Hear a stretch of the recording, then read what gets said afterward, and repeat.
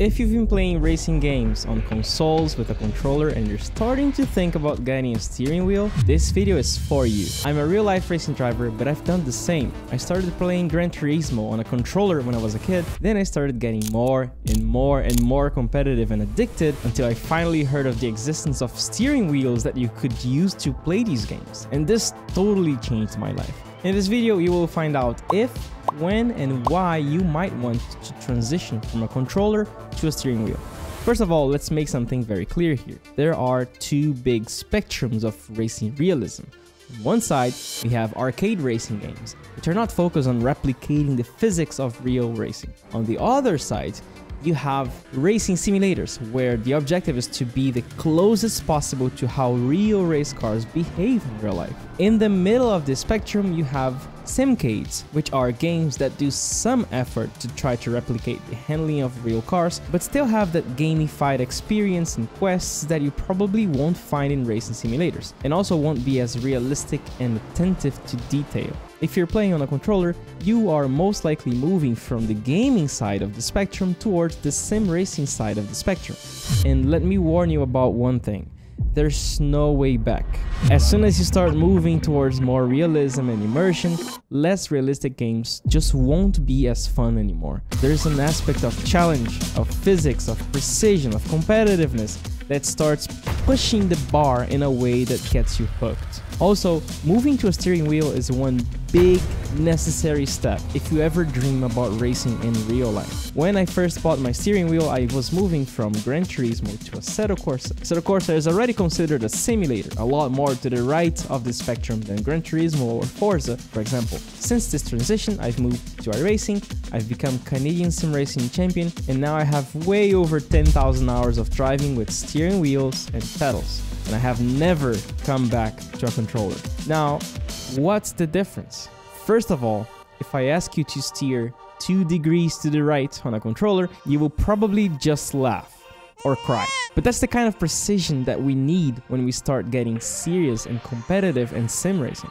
When I bought my first Logitech steering wheel, I was just mesmerized with the amount of possibilities of car handling. I started learning about steering input speeds, about U-shaped lines, V-shaped lines, and obviously I started getting way faster compared to when I was just messing around with a controller. Precision is what you get when you start driving with a steering wheel. Second, you also get pedals. So that means you start controlling your inputs at a whole new level of precision. And you will finally realize how much more control of your car you have, especially when you learn how to trail brake.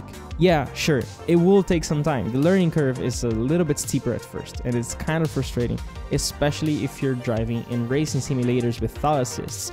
But as soon as you break this barrier, you feel like you're an actual racing driver. You feel like you could probably do that in real life.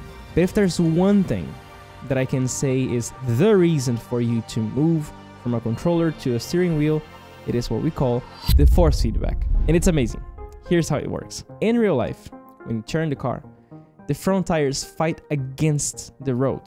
Those self-centering forces try to pull the steering back just straight, and you can feel that force on your steering. The higher the force, the stronger the resistance you can feel on the steering. Steering wheels with force feedback replicate that force very precisely, so you can feel not only a presence of a resistance, but the constantly changing amounts of that feedback. So you can tell if there is more grip or less grip on the front tires just by how stronger the steering pulls back against you. And this is what takes you to the very next step of your driving technique.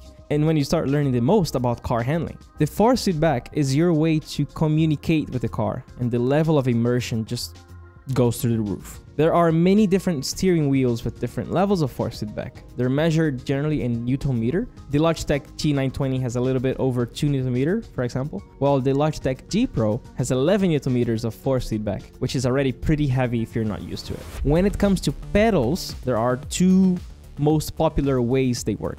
Entry-level pedals have potentiometers in it, which measure the travel of the pedal. That means how much the pedal is moving.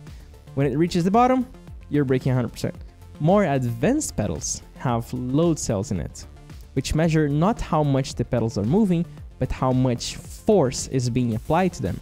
Load cells are crazy because even if they're not moving, they will measure how hard you're pressing. Even if there's absolutely no movement at all in your pedal, it will measure your force very precisely. We can be a million times more precise with load cells because our muscles work much more precisely when it comes to how much you contract your muscles instead of how much you're moving your foot back and forth. You don't really have to look to the pedal meter to know that you're pressing 50 kilos of force because you can feel it. Initially, you won't have to worry too much about how advanced your equipment is. When I first started my sim racing career, I used the Logitech G29, their entry level equipment, for over four years, and I started coaching drivers while I was still using it. And the drivers I was coaching had all the equipment you can imagine load cells, strong force feedback, motion systems, whatever you can imagine.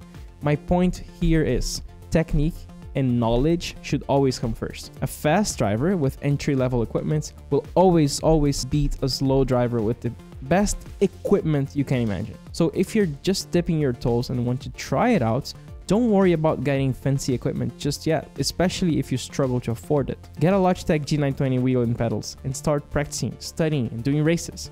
Then, as you progress and start understanding the physics of it, you can think about upgrading. And if you do, I strongly recommend that you upgrade to load cell pedals first. Then you upgrade your steering wheel.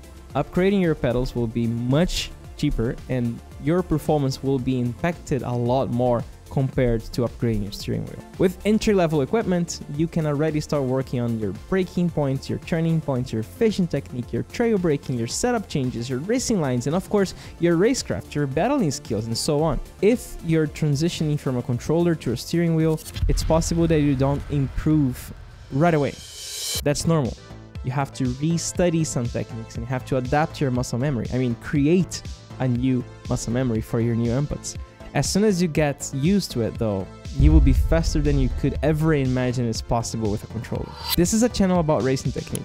Subscribe and thank me later. Sim racing is growing more and more, and it's bringing real life racers and sim racers together. This is making the competition level rise like I've never seen it before. So if you want to become that competitive, the secret is in the driving technique more than equipment. My professional driving technique course, the Motor Racing Checklist, already has over 3,000 drivers, including real life drivers and professional esport drivers, just so you know how good it is. I made this course after coaching over 2,000 drivers in one-to-one live sessions and it contains all the advanced concepts, techniques, and exercises that I've developed with my students over all these years of coaching. It's perfect for any simulator, racing games, and also for real-life drivers wanting to use a simulator to improve their real-life driving technique. This course is about car handling skills, and the goal is to make you find better lap times and consistency. You will learn how to prevent and induce specific behaviors and learn how to feel them earlier so you can predict what's happening with the car